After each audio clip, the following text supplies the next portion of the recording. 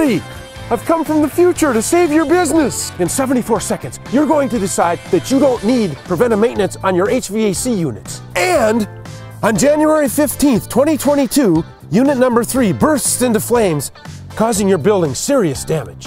Gee, Doc, that sounds heavy. You're going to want that preventive maintenance done on those units. Come, I'll show you why. You see, Marty, preventive maintenance is important because routine professional maintenance reduces downtime caused by unexpected repairs, helps lower your energy costs by maximizing system efficiency, extends the lifespan of your system, reduces your carbon footprint by limiting your energy consumption, prevents large and expensive emergency repairs from occurring, but most important, Marty, it provides you with invaluable peace of mind, knowing you'll be comfortable all year long. Thanks, Doc. I'll give Robert Gibb a call. Calls? There's no time for calls. Now we have to go back and save your house.